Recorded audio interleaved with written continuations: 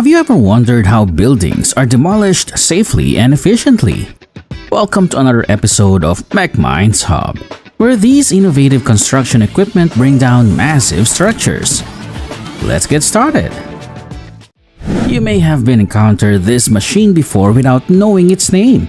Meet the hydraulic breaker, a powerful tool that is attached to an excavator or a skid steer loader. It uses a hydraulic hammer to deliver high-impact blows to the concrete or masonry of the structure.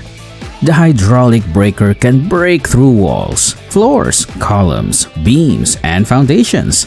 It is used to cut rebar and steel. This machine is one of the most common and versatile demolition tools, as it can be used in various situations and environments. While the hydraulic breaker excels at demolishing concrete and masonry, it proves less adept at cutting metal. For this specific task, a different tool is essential, and the shear fits the bill. The shear is another attachment that can be installed on a loader or an excavator. It cuts through metal constructions including steel beams, pipelines, cables, and wires using its two blades. The shear's primary benefit is its ability to quickly and precisely cut metal and crush masonry and concrete. When dismantling industrial plants, ships, and bridges, the shear comes in very handy. Apart from the challenge of cutting metal, building demolition presents additional complexities such that large chunks of masonry or concrete may occasionally need to be removed without breaking them into smaller pieces. To address this, the crusher comes into play. This additional attachment can be installed on a loader or an excavator. It features a hydraulic jaw that clamps onto and crushes large pieces of concrete or masonry. The material can be reduced in size by the crusher without creating an excessive amount of dust or noise. It separates the rebar and steel from the concrete. The crusher is ideal for recycling and reusing the demolished material as it can produce aggregates that can be used for new construction projects. Crushing concrete and masonry is one way of recycling the demolished material. But what if you want to reuse the metal as well? For that, you need the machine called the magnet. The magnet is another attachment that can be attached to an excavator or a loader. It uses a powerful electromagnet that can lift and move metal objects such as rebar, steel, pipes, and wires. The magnet can sort and separate the metal from the non-metallic material, making it easier to transport and recycle. It is very efficient and cost-effective, as it can save time and labor. There are other methods besides lifting and moving metal objects for relocating the demolished material. Occasionally, you have to load and unload cargo from containers or trucks. To do this, you need to utilize a machine known as grapple. A grapple is an additional attachment that can be attached to a loader or an excavator. It makes use of a hydraulic claw that is capable of grabbing and holding a variety of materials, including metal, wood, plastic, concrete, and masonry. In addition, the grapple has tilt and rotational movement, which lets it adapt to various postures and angles given that it can handle materials of various sizes and forms. The grapple is incredibly adaptable and versatile. It does, however, have certain disadvantages, including weight, complexity, and wear and tear. Grabbing and holding material is not the only way of handling the material. Sometimes you need to sweep and clean the debris and dust from the demolition site. Enter the machine called broom another attachment that can be mounted on a skid steer loader or a tractor. It uses a rotating brush that can sweep and collect the debris and dust from the ground. The broom can also have a water spray system that can reduce the dust and improve the visibility.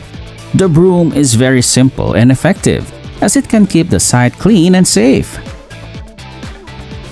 During demolition, there are instances where precision cutting is required, especially for structures with intricate designs or when dealing with reinforced concrete.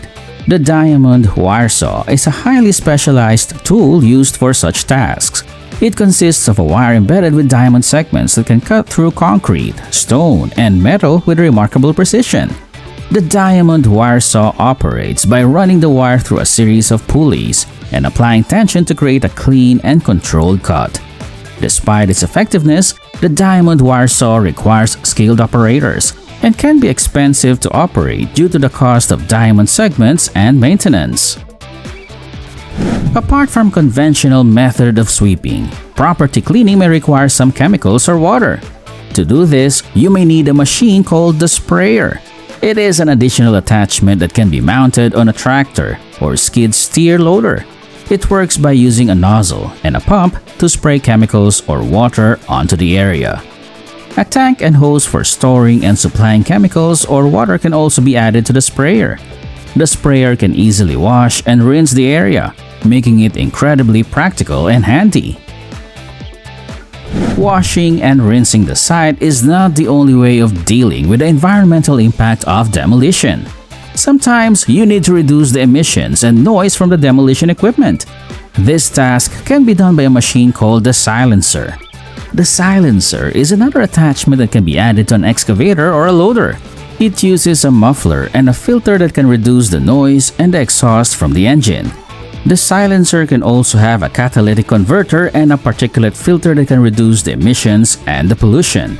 This machine is very important and beneficial as it can protect the environment and the health of the workers and the public. Modern technology has revolutionized the way demolition projects are planned and executed. Drones, equipped with high-resolution cameras and sensors, play a crucial role in assessing the condition of structures slated for demolition. They can provide aerial surveys, capturing detailed images and data that help engineers and demolition experts formulate effective strategies. Drones also contribute to safety by inspecting hard-to-reach areas without putting workers at risk.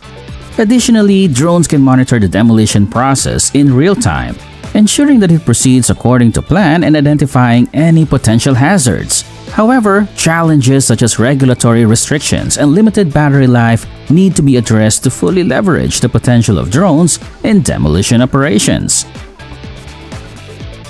The shoring is another attachment that can be used with an excavator or a loader. It uses a hydraulic jack and a steel beam that can support and stabilize the structure during demolition. The shoring can also have a sensor and a monitor that can measure and display the pressure and the movement of the structure. The shoring is very critical and essential, as it can prevent the collapse and the damage of the structure and the nearby buildings. Last on the list, the most important tool for demolition is the explosive. It uses a chemical compound that can detonate and create a powerful blast that can break and collapse the structure. The explosive can also have a timer and a detonator that can control the timing and the sequence of the blast. The explosive is very spectacular and impressive as it can demolish the structure in a matter of seconds. Did you find this video interesting? What caught your eye? Let us know in the comments below. Always remember to observe safety precautions. If you like this video, give it a thumbs up and subscribe to MechMinds Hub channel for more content like this. Thank you for watching.